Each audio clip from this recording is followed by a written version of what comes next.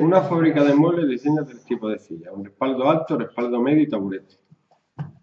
Cada uno de estos modelos se puede diseñar en un tipo de madera distinto, obteniendo un resultado de precio económico es medio o de lujo. Económico, medio de lujo. Cada mes se producen de la silla respaldo alto 21 modelos E, vale, te dan una tabla. Y se representa la información en una matriz. ¿Vale?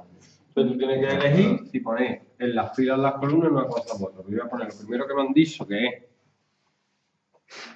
los tres tipos de silla que hay.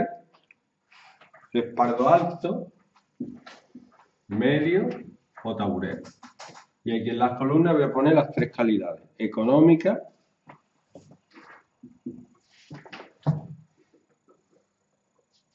medio de luz.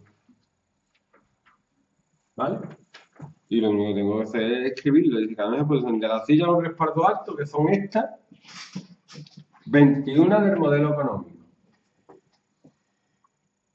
7 del mediano y 13 del de lujo. es que te lo dice, solo lo tienes que escribir. De la silla un respaldo medio, 15 del modelo económico. 10 del medio y 6 del de lujo. y de la y de las otras, ¿no? Del taburete, 10 del modelo económico, 11 del mediano y 2 del lujo.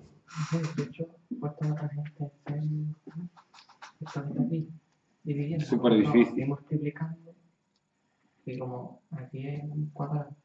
Dice, calcula otra matriz que dé la producción de un año.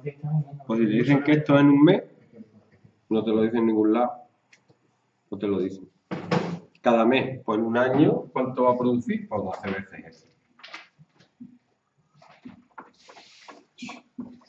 Y esto es un problema. A mí me da vergüenza. ¿Qué quiere que te diga? Pero si, te, si es un problema y sabes hacerlo, pues ya está. Es mucho más fácil de lo que le ponen a la voz. Pero... Más fácil que lo, que lo otro, ¿no? Sí, más fácil no. Sí, más fácil que el otro también. Pero más fácil que lo de selectividad también. Entonces, a mí me crea un quebranto.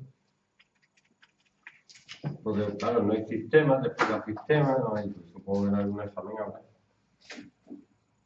Y que habrá, te busca más. Ya está. Cuando saca de selectividad.